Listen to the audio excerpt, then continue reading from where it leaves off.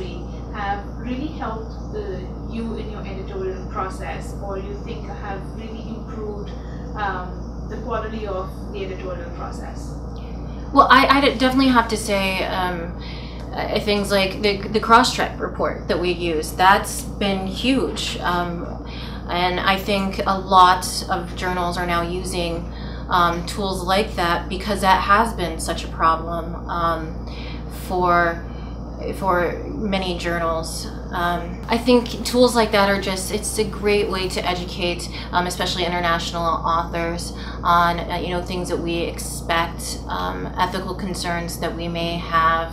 Um, uh, you know, as I mentioned, it's text duplication. Um, it's it's not necessarily just using um, work from other authors, but even self. Uh, even like self plagiarism if you take work that you've published in the past and and um, and reuse that you know you need to make sure that the content is different. Um, so so definitely things like iThenticate reports have been just so helpful I think to uh, members of our field